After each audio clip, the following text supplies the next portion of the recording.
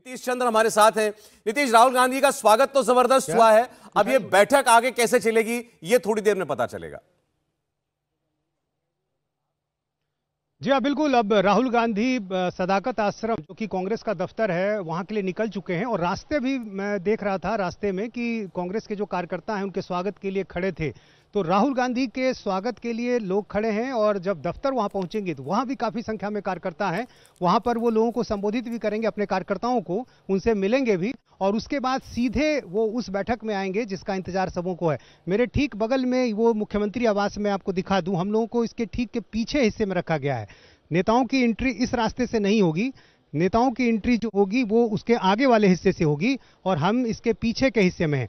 और ये जो सड़क है इसी रास्ते में मुख्यमंत्री का आवास भी है और ठीक यहाँ से 100 मीटर की दूरी पर लालू यादव का आवास भी है। ये जो सड़क जा रही है यहाँ से बगल में ही लालू यादव का आवास है और ठीक सामने मुख्यमंत्री आवास। तो बिल्कुल करीब है ये सारी चीज़ें और जहाँ ठहराया गया है स्टेट गेस्ट हाउस वो भी मुख्यमंत्री आवास के बिल्कुल सटा हुआ है।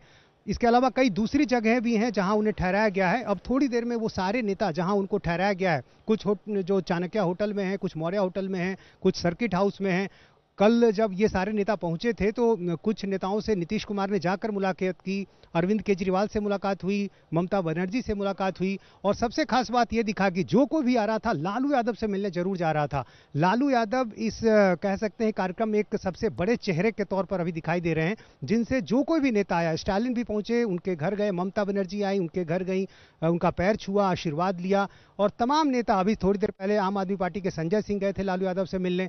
तो हर कोई लालू यादव से मिलने ज़रूर जा रहा है और इस पूरे कार्यक्रम में भी कई नेताओं को कोऑर्डिनेट करने में लालू यादव की जो भूमिका रही है, वो काफ़ी अहम रही है।